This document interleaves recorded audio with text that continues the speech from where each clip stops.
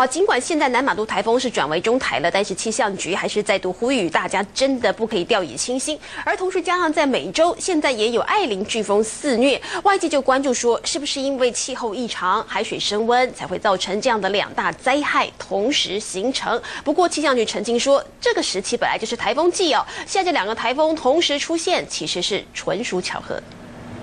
通过吕宋岛破坏环流结构，南马都从强台转为中度台风，但气象局呼吁还是不可轻忽。有一些区域的长浪已经超过三公尺高，所以我们也提醒啊，台湾周围沿海的海域是比较危险的。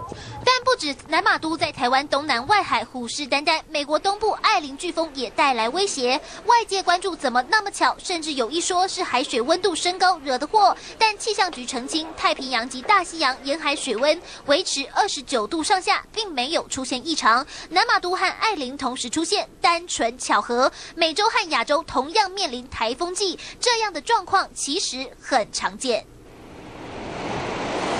气象局澄清，今台风的生成时间其实没有比较晚，台风路径本来就受复杂的大气因素影响。今年连续十个台风擦边球，只能说台湾幸运躲过，但这回南马都来者不善，民众可得小心防范。昨天新闻台北综合报道。